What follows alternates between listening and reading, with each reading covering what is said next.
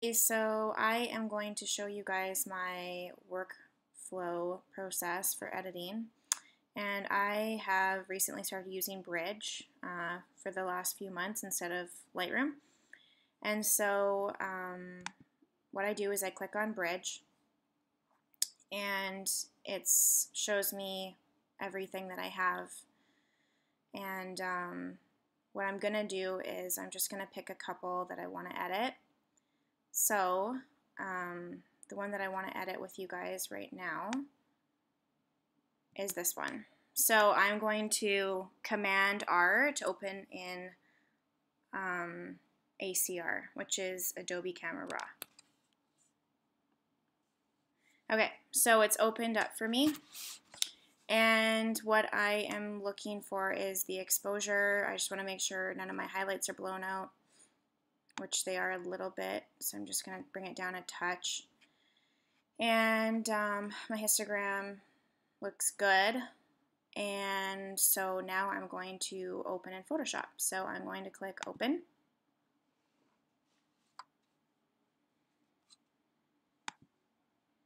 And it opens right into Photoshop. Okay, so there are a few different actions that I love using. Um, for skin retouching, I love to use um, Totally Rad's Pro Retouch. So I'm going to just click on Foundation Light.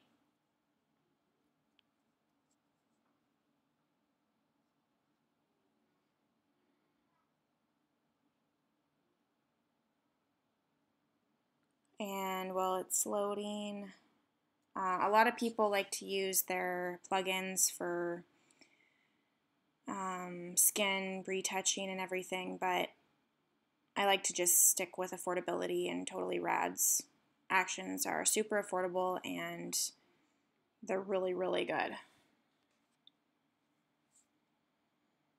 Okay, so I've got my mask on black, which means that I am going to choose my brush and I'm going to paint it on. And the brush has to be white, has to be on white. Now sometimes you might see like that the uh,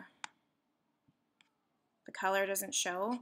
So I'm just going to go to Workspace, Window, Workspace, Essentials, and then it's down here. You see it right down here, the bottom. And if you wanted to erase what you just drew on, you press the X and it changes the color. See? X changes it from black to white. So white paints on, black removes on your mask. Okay, so it looks good. So I'm going to flatten it. And now I am going to see my actions here. And I'm going to click on deblotch medium. This is amazing because they developed an action that still shows you the texture of the skin um, with um, frequency separation. It is amazing and it's probably the best action I've ever been recommended buying. I wish I had bought it a lot long time ago.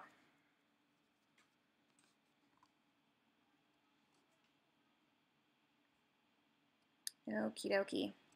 So um, I have this still on 100%.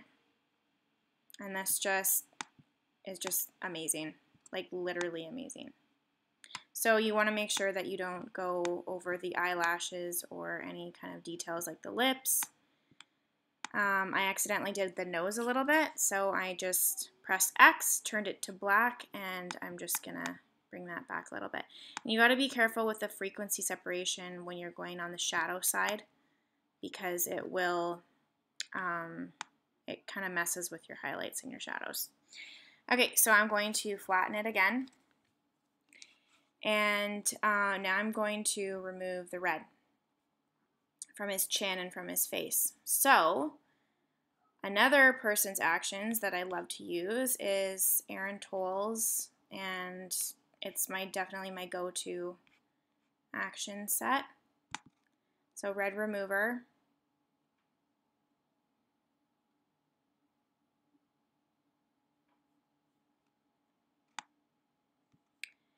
And um, you don't want to have this at 100%. So press enter and it will change the opacity on your brush and type in 30, press enter again, and you're going to just, oh, make sure you press X to make sure the brush is on white. You just kind of get rid of the redness in his face. And down here on his chin, it is really red. Okay, I'm just going to make it bigger. So I'm pressing Command with the plus sign. I'm going to press Enter and make it 100% because his chin is just so bad. And I'm going to press it Enter again and put it at 60%. And um,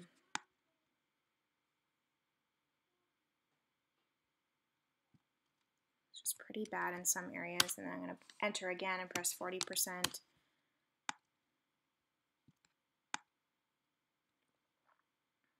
Okay.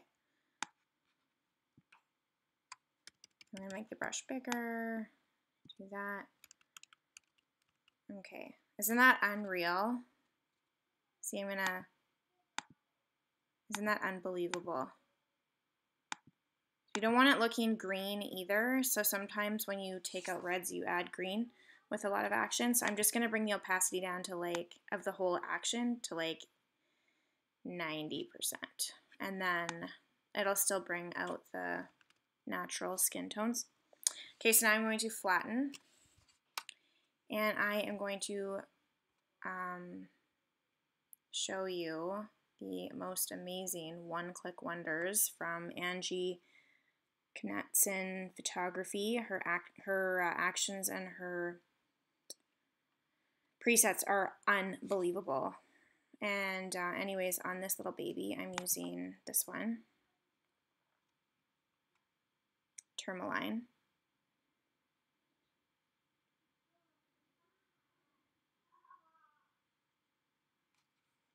And, oh, I just love it. Look at how beautiful it is against the gray. I love it. Okay, so I'm going to flatten that. And I'm going to sharpen the eyes. Now, I'll show you a trick, and this is what I'm going to do. So I'm going to press Command J, and that's going to duplicate my background layer to make another layer. And I'm going to go to Filter, Camera Raw. Well, this is the great thing about using Bridge and Camera Raw is that you can go back and forth between the two, and it is unreal so fast and it's just super awesome. Okay, so I'm going to go to my sharpening and I'm going to bring my sharpening up a bit and I want to see how sharp it is. So I'm going to hold down my Alt key or Option or Alt key and I'm to hold it down while I bring this up and it's to show you where the sharpness is really to focus on. And I'm, I'm masking out the skin. So it's really, so hold the Alt key when you press it down. And it's really only on the edges. And that's exactly what I want. And I'm just to bring my blacks down a little bit and my contrast and my shadows down a little bit. And that looks good to me. So I'm going to press OK.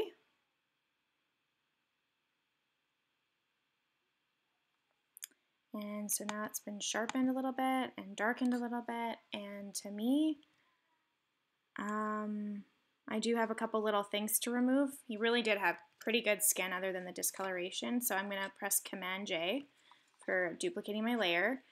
I'm going to do my spot retouching and I'm just going to um, click on the spots that need it. I'm just going to get rid of the little hair here.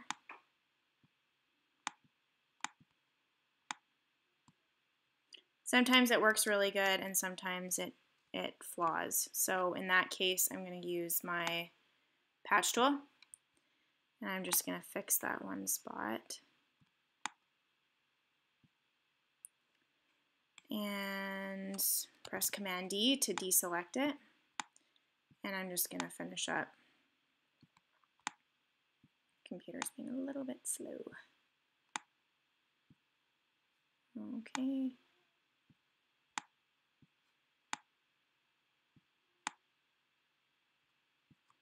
Okay. And to me, I mean, that looks pretty good. I'm not going to make this completely perfect because I don't want my pictures looking plastic. So I do leave some of the imperfections, but for the most part, I don't want anything that's going to distract from the overall image. And to me, that looks pretty good. So I'm going to flatten it, and then I'm going to save it.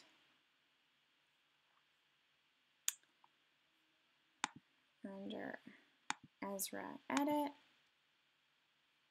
JPEG, make sure it's color and embedded with sRGB and save it. Make sure your file size is maximum and we are good. So thank you for watching. Remember to subscribe to my channel and um, I'm going to try to bring a lot more of these videos to you guys. And feel free to leave questions and I will do my best to answer them.